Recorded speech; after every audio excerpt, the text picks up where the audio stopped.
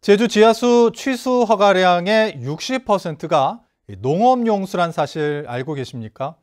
이 농업용수의 경우 이용량도 측정되지 않는 데다 아, 대부분 요금도 받지 않고 있어서 다른 용도로 사용되거나 허가량을 넘겨 취소하는 경우가 허다한 것으로 취재 결과 드러났습니다.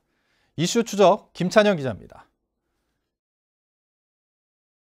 농사일에 쓸 물을 지하에서 끌어올리기 위해 시설한 농업용 관정입니다. 제주에는 이런 농업용 관정이 3천 개가 넘는데요. 취수 허가량도 전체 지하수 허가량의 56%에 달할 정도로 큰 비중을 차지하고 있습니다. 하지만 사용량에 비해 관리가 제대로 되지 않다 보니 여러 가지 부작용이 잇따르고 있는데요. 어떤 문제점이 있는지 살펴봤습니다. 올해 초 문을 연 제주시의 한 숙박업소입니다. 지난해 4월까지 석 달 동안 농업용수를 펜션 공사에 사용하다 적발돼 고발 조치됐습니다. 서귀포시의 한 펜션도 올해 초까지 풀장에 농업용수를 쓰다 적발돼 단수 조치됐습니다. 전이 있어가지고 전을 전이 있어가지고 줬는데 나중에 확인해 보니까 거기서 이제 쓴다 그러니까 나중에 좀 뭐 해가지고 다다 단수시켰습니다. 물을 아예 아예 안 보내고. 이처럼 농업용수를 풀장이나 조경수 등 다른 용도로 사용하다 적발된 주택과 업체는 최근 3년 동안만 180여 곳.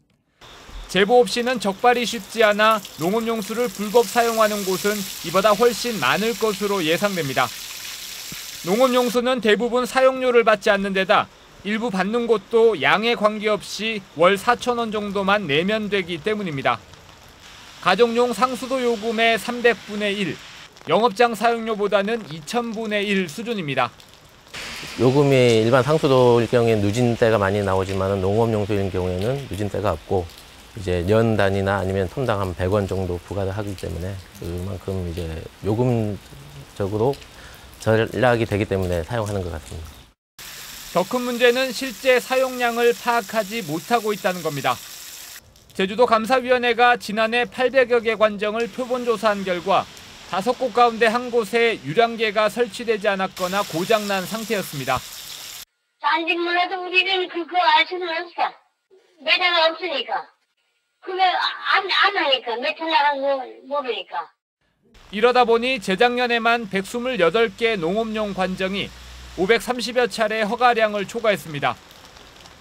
그 1차적으로 좀 대체 수자원을 먼저 이용을 하고 모자란 부분은 지하수로 채워넣는 방향으로 지금 정책을 추진하려고 지금 계획은 하고 있습니다. 농업용수는 가뭄 때 더 많이 퍼올리기 때문에 지하수 고갈의 가장 큰 원인 중 하나. 하천이 없는 제주 특성상 농업용수 대부분을 지하수에 의존하고 있지만 수위가 점점 낮아지고 관리도 쉽지 않은 만큼 대체 수원 마련이 시급해 보입니다. MBC 뉴스 김찬년입니다.